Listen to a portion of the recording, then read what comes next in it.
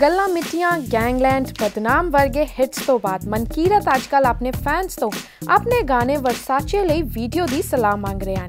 ਵਰਸਾਚੇ track Mankirat ਦਾ ਪੁਰਾਣਾ ਗਾਣਾ ਹੈ ਅਤੇ ਇਹ 5 ਜਨਵਰੀ 2015 ਨੂੰ ਰਿਲੀਜ਼ ਹੋਇਆ ਸੀ ਬਟ ਹਲੇ ਤੱਕ ਇਸ ਦੀ ਵੀਡੀਓ ਨਹੀਂ ਬਣੀ ਹੈ। ਅੱਜਕੱਲ ਮਨਕੀਰਤ ਆਪਣੇ ਨਵੇਂ ਹਿੱਟ ਸੌਂਗਸ ਦੀ ਵੀਡੀਓ ਦੀ ਸਫਲਤਾ ਤੋਂ ਕਾਫੀ ਖੁਸ਼ ਹਨ ਤੇ ਇਸ ਲਈ ਉਹ ਹੁਣ ਸੋਚ ਰਹੇ ਹਨ ਕਿ ਵਰਸਾਚੇ ਦੀ ਵੀਡੀਓ ਵੀ ਬਣਾ ਦਈਏ। ਇਸ ਲਈ ਉਹ ਆਪਣੇ ਫੈਨਸ ਤੋਂ ਸਲਾਹ ਮੰਗ ਰਹੇ ਹਨ। ਇਸ ਲਈ ਉਹਨਾਂ ਦੇ ਫੈਨਸ ਤੇ ਉਹਨਾਂ ਨੂੰ ਇਸ ਦੀ ਵੀਡੀਓ ਬਣਾਉਣ ਲਈ ਹੀ ਐਡਵਾਈਸ ਕਰਨਗੇ। For more Bollywood and Bollywood updates, subscribe our channel Savera Star Talks.